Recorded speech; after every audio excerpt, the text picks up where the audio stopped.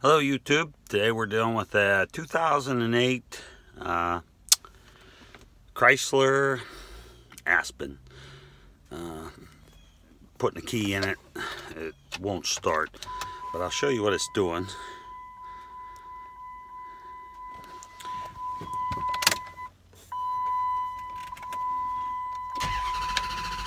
Um,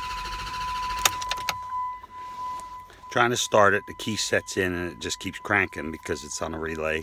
So it wants to try to start, but it won't. So what it's doing is it's continues to try to crank to get it to start.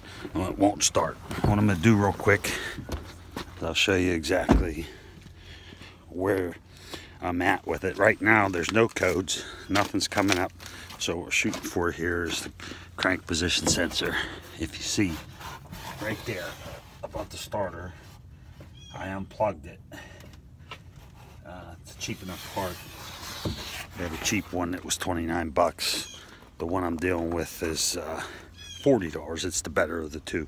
So I'm going to take that out replace it right now. Again, it's a 2008 Chrysler Aspen with a 4.7 V8 uh, crank position sensor.